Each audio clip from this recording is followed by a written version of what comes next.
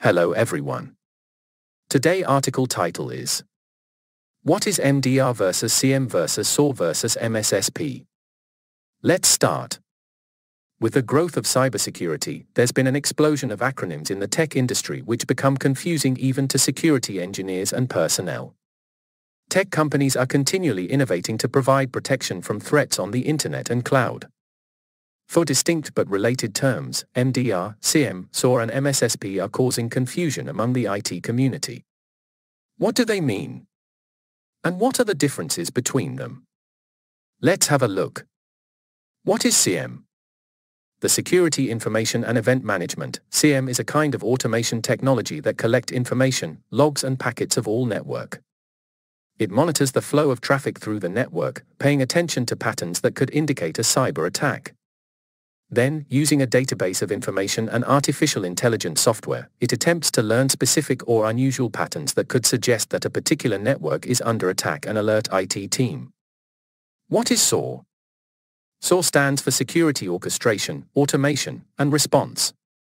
This term describes three software capabilities, threat and vulnerability management, security incident response and security operations automation. SOAR allows companies to collect threat-related data from a range of sources and automate responses to low-level threats.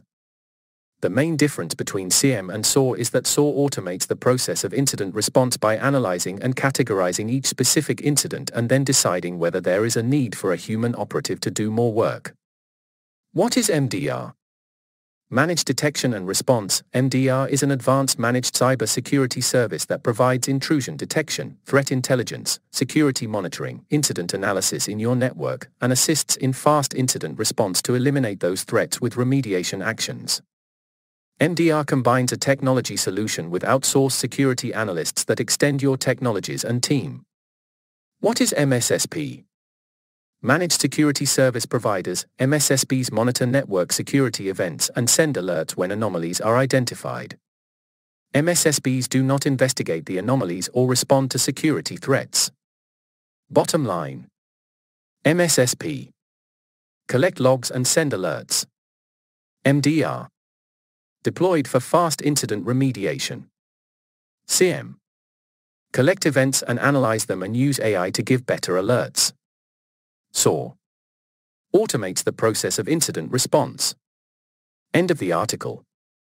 Thank you for watching. If you like this video please press like. For daily articles please subscribe. Goodbye.